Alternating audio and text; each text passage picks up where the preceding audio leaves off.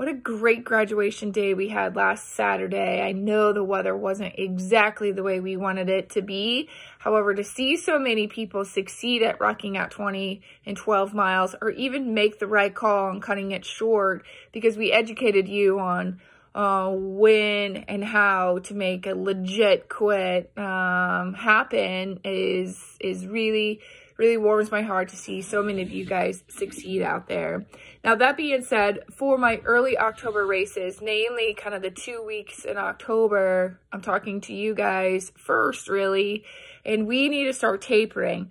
Now, to talk to my late October, maybe early November, you guys aren't tapering just quite yet. However, um, it is time, kind of time to take the intensity and volume off the plate a bit uh, for active recovery before we kind of go up one more time, all right, to get you primed and ready to roll for your late October or November. But let's talk just kind of it in a taper mode for now. And, and most people, sometimes the wheels come completely off after this big run has been logged. But really what I would encourage you guys to do is keep the frequency. So if you guys are running four days a week, five days a week, six days a week during this taper, you guys need to run your four days a week, five days a week, six days a week if you guys are doing the Tuesday workouts, you guys need to keep those Tuesday workouts, right? Keep the intensity there. What goes away during the taper, and especially where we're at right now, is the volume, all right? So maybe not quite as much, but as frequent and as fast as it usually is. Our bodies are creatures of habits. We need to make sure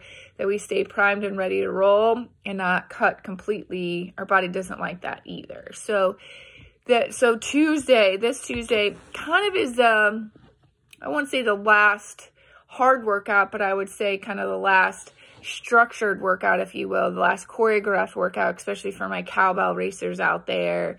Um, next week, we're kind of kind of doing just kind of a, a race pace kind of tune up.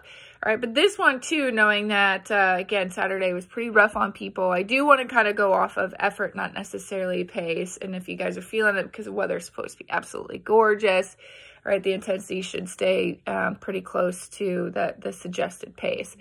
But that being said, we're going to go out 15 minutes, all right, at, again, around your 10K pace or 10K effort after 15 minutes. If you guys remember, you're just going to turn on and try to beat it back. So hopefully you guys can make it back in 14 minutes or 14 and a half minutes or 13 and a half minutes, whatever the case may be. All right, so we're picking up the same distance that you did on the way out, just in a shorter amount of time. All right, so again, if you wanted to make a, a, a 10K effort, it's still there. Maybe your legs just need some recovery, but they still want to turn over. All right, kind of uh, feel the feelings of what a 10K should feel like on the first 15 minutes on out and then turn around and try to beat it back. I'd much rather you guys stay a little bit more conservative on the way out um, and then try to pick it up on the way back because again we we love those negative splits okay? If you have any questions please let me know. Again keep that intensity coming.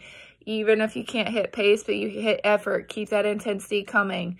This is the last loggable workout for many of us so we just need to make sure that we just put the cherry on top of the hot fudge sundae and we take it from there. If you have any questions please let me know